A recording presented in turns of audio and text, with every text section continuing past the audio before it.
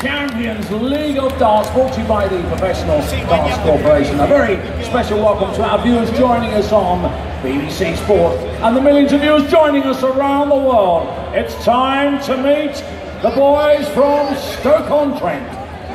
Ladies and gentlemen, firstly, would you please welcome the two-time back-to-back champion of the world,